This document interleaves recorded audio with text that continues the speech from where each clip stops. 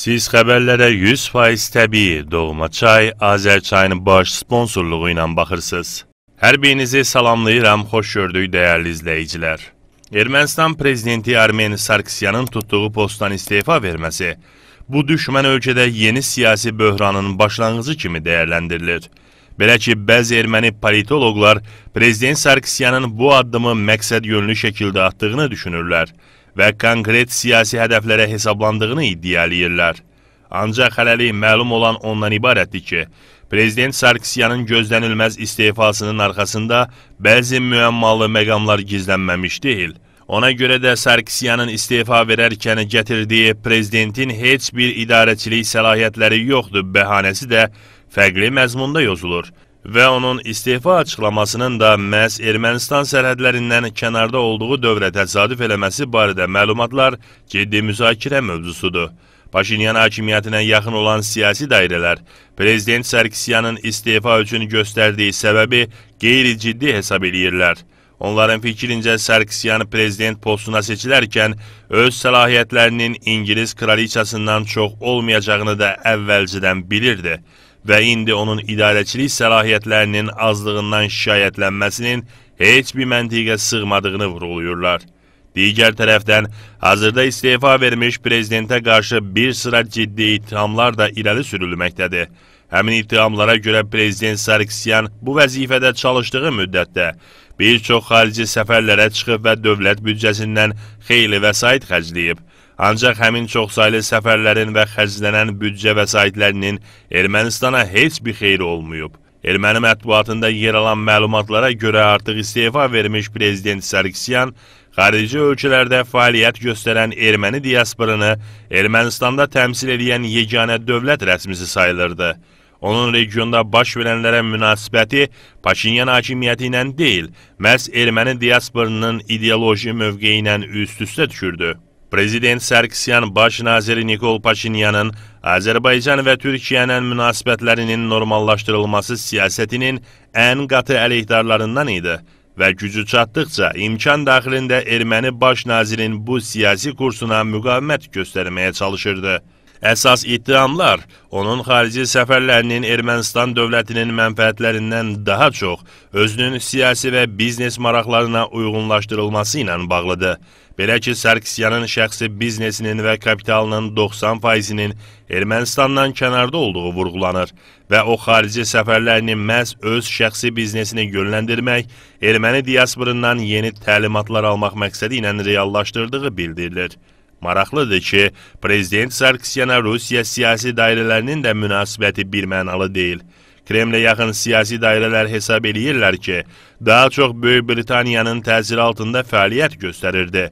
Ermənistanla bağlı hər hansı hadisə baş verərkən Rusiyaya müraciət eləmək əvəzinə dərhal qərb ölkələrinə, eləcə də NATO-ya üst tuturdu və bu səbəbdən də onun istefasının Rusiya-Ermənistan münasibətlərinə heç bir təsir göstərməyəcəyi bildirilir. Onu da qeyd eləyək ki, Ermənistanda Prezident Sarkisyanın istefasından narahat olanlarla yanaşı, bundan əməlli başlı məmnun qalanlar da kifayət qədərdir. Xüsusilə də həm Qarabağ klanı, həm də Paşinyan hakimiyyəti bu istefa ilə bağlı artıq uzaq gedən planlar qurmağa başlayıblar. Hər iki rəqib siyasi düşərgə bu istefanı özəl maraqların reallaşdırılması baxımından önəmli şans olaraq dəyərləndirir. Məsələ ondadır ki, Qarabağ klanı Ermənistanda prezident postunun boşalmasına keçmiş dövlət başçılarından birinin Robert Köçəryan və ya Sel Sarkisyanın yenidən hakimiyyət piramidasında yer almaq imkanı kimi yanaşır. Paşinyan hakimiyyətinin Azərbaycan və Türkiyənin münasibətlərin normallaşdırılması siyasətindən narazı olan revanşist düşərgə bu iki şəxsdən birinin, xüsusilə də Köçəryanın prezident seçilməsini Ermənistanın yeganə xilas yolu hesab edir. Bu düşərgədə belə qənaətlər var ki, Köçəryan prezident postuna sahiblənərsə, Ermənistanın bütün hərbi siyasi itkilərini tədricən kompensasiya eləmək mümkün ola bilər. Belə anlaşılır ki, erməni revanşistləri Köçəryan yenidən prezident seçiləcəyi təqdirdə 44 günlük savaşdan öncəki durumu bərpa eləyə biləcəklərinə ümid bəsləyir. Halbuki 44 günlük savaşdan sonra yaranmış yeni situasiya siyasi fiqurların deyil, hərbi faktorların doğurduğu şərtlərin nəticəsidir. Azərbaycan ordusu Ermənistanı darmadağın eləyib və bununla da hər şey rəsmi Bakının siyasi iradəsinin təsiri altına düşüb və bu vəziyyəti dəyişmək üçün Ermənistanın yeni müharibəyə imkan verəcək nə ordusu, nə də maliyyə iqtisadi resursları mövcud deyil. Digər tərəfdən, mövcud situasiya üç tərəfli anlaşmalarla tənzimlənir. Ermənistanda yeni prezident kim olsa da, rəsmi İrəvan həmin üç tərəfli anlaşmaların icrasından yayınmaq şansına sahib deyil. Ermənistanın hərbi müttəfiqi olan Rusiyanın prezidenti Vladimir Putin vaxtı ilə üç tərəfli anlaşmaların pozulması intihar olardı deməklə hər kəsə buna göstəriləcək cəhdlərin mümkün nəticələri barədə xəbərdarlıq eləmişdi və Qarabağ klanına aid olan heç bir siyasətçi də indiyə qədər cəsarət edib üç tərəfli anlaşmaların pozulma variantını gündəmə gətirməyib. Paşinyan hakimiyyətinə gəldikdə isə prezident Sarkisyanın istefası bu düşərkə üçün dövlət sistemində daha bir siyasi rəqibin sıradan çıxarılması anlamını daşıyır. Vaxtı ilə dolayısıyla Paşinyan hakimiyyətinin istefasını tələb edən düşərgiyə daha yaxın olan prezident Sarkisyan bundan sonra artıq əl-ayağa dolaşmayacaq. Xüsusilə də baş nazir Paşinyanın Ermənistanda konstitusiya islahatlarına başlamaq niyyətləri qarşısında əsas əngəllərdən birinin özbaşına həll olunduğu qətiyyən şübhə doğurmur. Çünki indi baş nazir Paşinyan daha asanlıqla Ermənistan konstitusiyasını dəyişə, prezident hakimiyyətinin yenidən bərpasını təmin eləyə, Azərbaycan və Türkiyə ilə münasibətlərin normallaşdırılması prosesinə əngəl olan maddələri oradan çıxara bilər və Ermənistanda yeni konstitusiyanın prezident hakimiyyətinin bərpa olunmasına qədər keçid dövlət başçısı olacaq şəxs Paşinyan hakimiyyətini təmsil edəcəyindən bu prosesə heç bir müqavimət göstərməyəcək. Belə anlaşılır ki, baş nazir Paşinyanın yolu özdə gözləmədən ciddi şəkildə təmizlənib. İndi erməni baş naziri yaxın gələcəkdə səlahiyyətləri artırılacaq prezident postuna sahiblənərək Ermənistanda mütləq hakimiyyəti ələ keçirmək planlarını reallaşdıra bilər və belə vəziyyəti baş nazir Paşinyan yalnız xəyal edə bilərdi.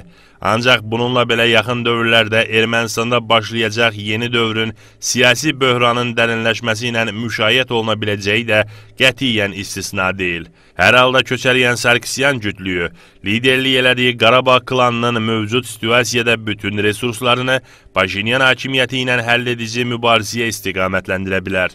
Bu halda daxili qarşıdurmalar vətəndaş itayətsizliyinə, küçə ixtişaşlarına, eləcə də sosial-iqtisadi problemlərdən bezən əhalinin Ermənistandan kütləvi emiqrasiyaya üz tutmasına səbəb ola bilər və belə vəziyyətdə artıq prezidentin də öz postunu qoyub qaçdığı Ermənistanda siyasi qalibi Rusiyanın müəyyən eləyəcəyini düşünmək olar. Hörmətli izləyicilər, politoloq Turab Rızayev deyir ki, Armen Sarkisyanın istefası Paşinyanın təzyiqi ilə olub. Çünki Sarkisyanın istefası Ermənistanda kifayət qədər ciddi əsasa söykənmir. Armen Sarkisyan köhnə komandiya, Sey Sarkisyan Robert Köçəryan kimi köhnə prezidentlərə bağlı adamdır. Onun baş naziri Nikol Paşinyandan uzun müddət yola getməyəcəyi onsuz da bəlli idi. Sarkisyan Birləşmiş Ərəb Əmirlikləri, Yardaniya, Misrə və s. səfərlərlədir ki, ölkəyə yenilik gətirən prezident kimi ön plana çıxsın. İki gün öncə də Günəş stansiyası üçün Birləşmiş Ərəb Əmirliklərindən maliyyə aldı. Hətta 150 ədəd zirehli hərbi texnika almaq barədə də razılıq əldə eləmişdi. Göstərmək istəyirdi ki, real olaraq iş görür. Sarkisyanın bu fəaliyyəti fonunda qəfil istefası göstərir ki, Paşinyan onunla razılaşmayıb. Paşinyan Ermənistanın hazırki qanunvericiliyinə uyğun olaraq baş nazirin səlahiyyətlərini qəsb eləməyə Sarkisyana icazə verməyib. Seçki öncəsində Sarkisyan Paşinyanı istefaya çağırırdı, onun əleyhinə addımlar atırdı. Düşünürəm Paşinyan bütün bunlardan bezdi və öz yerini möhkəmləndirən kimi artıq Sarkisyanın ayağına dolaşmasına, keçmiş Qarabağ klanının bu şəkildə ona nəzarət eləməsinə qarşı çıxdı.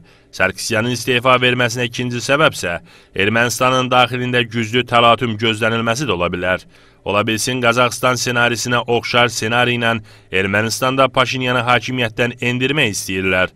Hansısa qanlı senari də ola bilər. Mümkündür ki, Sarkisyan bu çevrilişdə iştirak eləmək və adının hallanmasını istəməyib. Ona görə də indi vəzifəni tərk edib.